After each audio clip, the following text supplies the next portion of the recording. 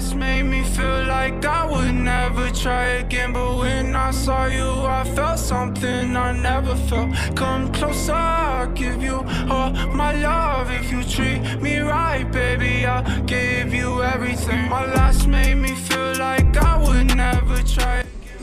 hi guys good evening so আজকের ব্লগটা একটু অন্য টাইপের হবে just like not normal daily blog আজকে আমি একটা স্টাডি ব্লগ করতে চলেছি। আজকে ভেবেছিলাম আমি সকাল থেকে বিকজ কালকে হচ্ছিল ফ্রাইডে অ্যান্ড আজকে আমাকে ব্লগ শ্যুট করতেই হতো। বাট যেহেতু এখন এক্সাম চলছে, তার কারণে ডেলি ব্লগ আমি খুব ভালো করে একটা শ্যুট করতে পারছি না। তো ভাবলাম যে, ইয়া, আজকে একটা স্টাডি ব্লগ করা যায় বিকজ কালকে হচ্ছিল আমার সাইকোলজি এক্সাম তো আজকে আমি সাইকোলজি পড়ব এখন টিল ডিনার অবধি। তো সেটাই তোমাদেরকে ব্লগ করে দেখাবো। এনিওয়েজ তো চলো এখন ব্লগটাকে স্টার্ট করি। সো প্রচণ্ড ঠান্ডা এখন। লাইক বিকাল থেকে দুপুর থেকে বৃষ্টি পড়ছে কি জানি না। আজকে দুপুরে ঘুমটা খুব খুব খুব ভালো হয়েছে। তার কারণে এখন ফ্রেশও লাগছে বাট ঠান্ডাও লাগছে। তার সাথে সাথে, তো এখন ভাবছি নিশ্চয়ই একটা কফি বা একটু গরম কিছু বানিয়ে নেব বিকজ তাতে মনটা কনসেন্ট্রেশন একটু বেটার হয়। তো দেখা যাক, আমি ফার্স্ট টাইম স্টাডি ব্লগ বানাচ্ছি, এর আগে জাস্ট কয়েকটা ক্লিপ শ্যুট করে রেখেছিলাম বাট আজকে তোমাদেরকে ডিটেলসে বলব লাইক বিট অফ ডিটেলস কি আমি কী কী পড়ছি, কী কী পড়ছি না, বা কী পড়তে হবে। তো let's get started when I saw you, I felt something I never felt. Come closer, I'll give you all my love. If you treat me right, baby, I'll give you everything. My last made me feel like I would never try again, but when I saw you, I felt something I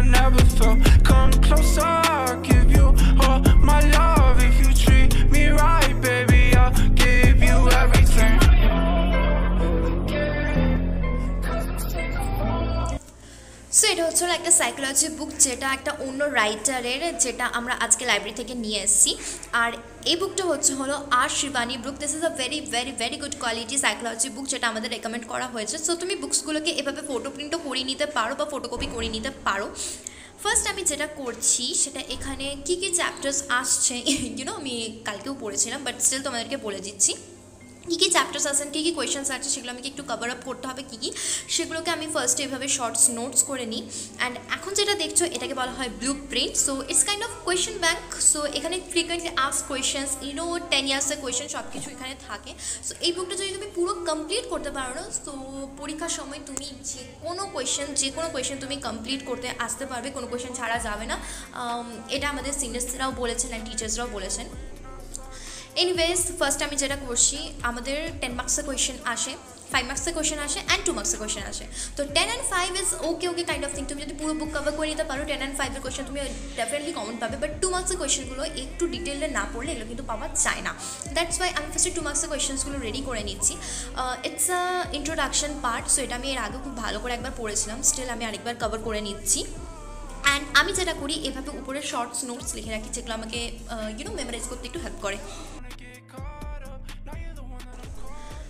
so এখন যেটা করছি, আমি আমি একটা copy নিচ্ছি। আমি যে কোনো কিছু পড়ার টাইমেই শর্টস নোটস ও স্পাইডার নোটস ইউনো সেই জিনিসগুলোকে আমি একটু লিখে রাখতে বেশ পছন্দ করি। ইটস নট লাইক কি তুমি যা যা বলে সব কিছু সেন্টেন্স ওয়াইজ লেখো just write the points so এটা তোমাকে অনেক অনেক অনেক হেল্প করবে। তো ফার্স্টে আমি যে কোয়েশ্চেনটা পড়ছি, সেটা খুব একটা মানে বেসিক কোয়েশ্চেন সেটা আমি লিখে রাখছি এভাবে পয়েন্ট করে করে। সো এটাও একটা F A Q nature of subject psychology তো ভাবলাম যেহেতু সাইকোলজি স্টাডি ব্লগ বানাচ্ছি তো তোমাদের সাথে এটাও একটু শেয়ার করে দিই।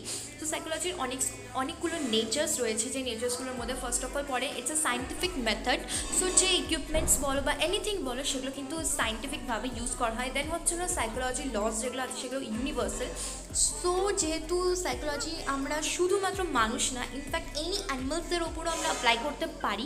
সেই কারণে পৃথিবীতে যতগুলো অ্যানিমালস বলো, মানুষ বলো, সবাই কিন্তু ব্রেনটা সেম না। দো তারা অন্য ভাষায় কথা বলে, দো তাদের culture characteristics everything is different but everyone is human right so প্রত্যেকের জন্য সাইকোলজি ল কিন্তু ইউনিভার্সাল হবে। দেন হচ্ছে এটা একটা ফ্যাকচুয়াল সাবজেক্ট এটা ফ্যাক্টের ওপর ডিপেন্ড করে নট দ্যাট কি তুমি কতটা ভ্যালু দিচ্ছ, এটা হচ্ছে একটা ফ্যাক্ট আই থিঙ্ক আমি ওদেরকে বোঝাতে পারছি সো নেক্সট হচ্ছে এটা যে কোনো ল বানানোর আগে এটাকে বারবার আগেন অ্যান্ড আগেন ভেরিফাইড করা হয় অ্যান্ড রিভেরিফাইড করা হয় because it's a question of human brain and human behaviour so that's why এটাকে বারবার ভেরিফাইড করা হয়। সো এভাবে আমি জিনিসগুলোকে কী করি? এগুলোকে এক্সপ্লেনেশন কিন্তু আমাদেরকে এক্সামে লিখতে হয় বাট আমি এক্সপ্লেনেশন করে দিন কপিতে লিখে রাখি না। আমি জিনিসটাকে মাথার মধ্যে ইউনো সেট করে রাখি দেন জাস্ট পয়েন্টগুলোকে লিখে নিই। দেন অলসো আমি যেটা করি রেড পেন দিয়ে যে কি পয়েন্টসগুলো যেগুলো আমি আই থিঙ্ক যেগুলোর ওপর বেস করে আমাকে আনসারটাকে ইলাবোরেট করতে হবে, তো সেগুলোকে এইভাবে রেড পেন দিয়ে লিখে রাখছি। সো অলসো এখান থেকে ফাইভ মার্কসের কোয়েশনস আসতে পারে like application of psychology nurse আমরা আমরা কীভাবে পেশেন্টের জন্য সাইকোলজিকে আন্ডারস্ট্যান্ড করতে পারি, আমরা পেশেন্টকে সাইকোলজিক্যালি সাপোর্ট করতে পারি অলসো সাইকোলজি আমাদের নিজেদেরকে কীভাবে হেল্প করবে একটা পেশেন্টকে ভালো রাখতে ইউনো যখন কোনো টার্মিনালি ইল পেশেন্ট আসে, যাদের কিনা হাতে আর ছ মাস টাইম থাকে in fact one two two মান্থসও time থাকে যে তারা আর সেই টাইমের পর বাঁচবে না like cancer patients and also terminally ill patient so তাদের সাইকোলজিক্যালি সাপোর্ট দেওয়ার জন্য এই সাইকোলজি সাবজেক্টটা আমাদের নার্সিংয়ে খুব খুব ইম্পর্টেন্ট একটা সাবজেক্ট অলসো আমরাও একটা হিউম্যান বিং সো আমাদের সাথে পেশেন্ট কিন্তু তার অ্যাংরি মোডে তাদের বিরক্তিকর মোডে কথা বলতে পারে বাট সেখানে আমরা পেশেন্টকে কীভাবে কন্ট্রোল করতে পারি, তাদের সাইকোলজিকে বুঝতে পারি সো সেগুলো সব কিছু ডিপেন্ড করে আমাদের neurons brains and you know আমাদের অর্গানস থেকে, তো এগুলোকে একটু ডিটেলভাবে পড়ে নিচ্ছি আমি। সো অ্যান্ড দ্যাটস ইট আজকে এভাবেই পড়লাম।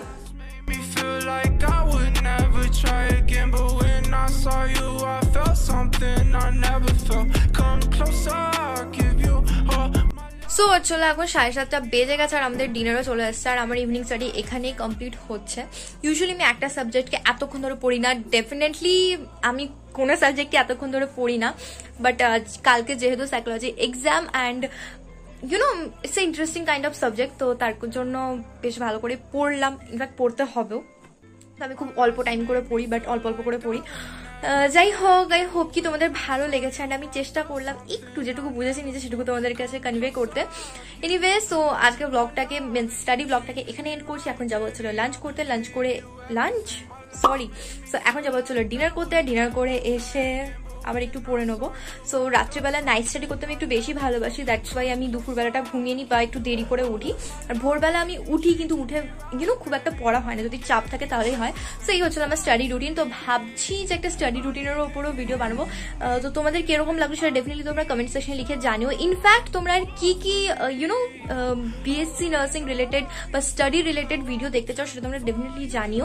আর হ্যাঁ thank you so so so much for three hundred subscribers আজকে সকালে আমি যখন কলেজ থেকে আসছি, তখন মা আমাকে মানে মাকে যখন ফোন করছি, মা আমাকে বলছে, তো থ্রি হান্ড্রেড কমপ্লিট হয়ে গেছে and thank you so so so much তোমাদের সব বাইকে অ্যান্ড যেটা বলার ছিল থ্রি হান্ড্রেড স্পেশাল একটা ভিডিও যাবে যেটা তোমরা রুম ট্যুর চেয়েছো বাট যেহেতু আমাদের এখন এক্সাম চলছে নো ওয়ারিজ আর তিনটে এক্সাম রয়েছে, তিনটে এক্সাম কমপ্লিট হয়ে গেলে আমরা রুমটাকে একদম আবার ভালো করে অর্গানাইজ করব ক্লিন করব, তারপর থ্রি হান্ড্রেড স্পেশাল তোমাদের রুম ট্যুর আসবে। তো আজকে ব্লগটা অ্যান্ড এই আউটরোটা অনেকটা লম্বা হয়ে গেল, জানি বাট তোমরা যদি আমাকে ভালোবাসো, তো ডেফিনেটলি তোমরা শুনবে কথাটা। তো তোমরা কমেন্ট সেকশনে কিন্তু তোমাদের যে ওপিনিয়ন আছে, সেগুলো সব কিছু লিখে জানিও, আমার তোমাদের কমেন্ট করতে খুব ভালো লাগে আমি প্রত্যেককে রিপ্লাই দিই, প্রত্যেককে। তো যাই হোক ব্লগটা এখানে এড করছি and hope for the best কালকে যাতে আমি আমার বেস্ট দিতে পারি। So bye bye